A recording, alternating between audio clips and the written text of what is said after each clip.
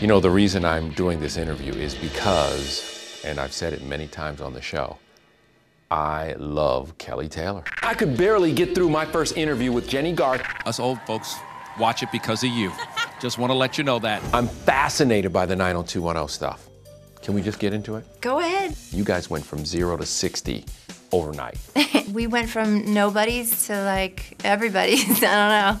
So you had no idea that you had become this global entity, these national superstars. And we just get mobs, like like like the Beatles. And I'm that is like that sounds crazy to say, or how could she even say that? But I swear to God, it's true.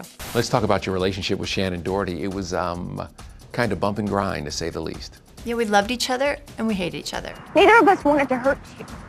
You didn't care about how I felt at all, Kelly. But that, you know, that was then, and I'm so happy that we've come to terms now. But the relationship fans were most interested in Kelly and Dylan.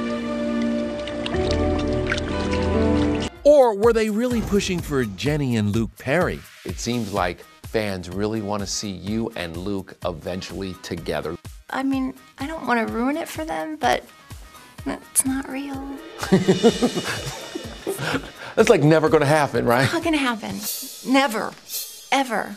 Jennie lays it all out in Deep Thoughts from a Hollywood Blonde, out now, where she talks candidly about everything from weight gain to rediscovering herself after 11 years of marriage to her life now as a single mom.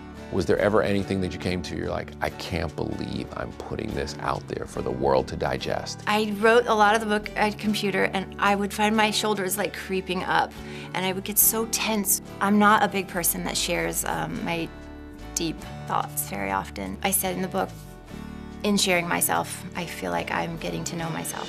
What did you learn about yourself by writing this book? I know that I, my transition in life still isn't over, but I know that I am stronger now because of everything that I've been through.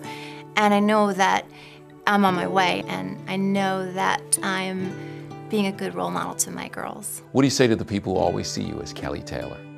I say thank you for, for loving Kelly.